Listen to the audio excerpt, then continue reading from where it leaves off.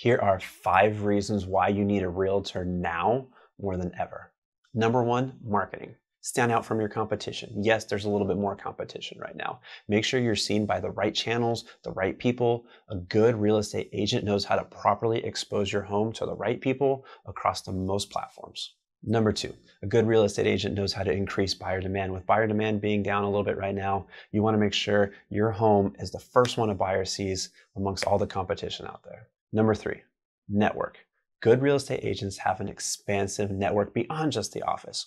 Good real estate agents want to work with other good real estate agents. So when you're hiring a real estate agent, you're not just hiring that agent, you're hiring their network too. Number four, trades database, basically a real estate agent's Rolodex. Electricians, plumbers, handymen, the good real estate agents that you're working with, they have all of that. And they've worked a long period of time negotiating the best people at the best cost and rates just for you. And finally, number five, negotiation skills.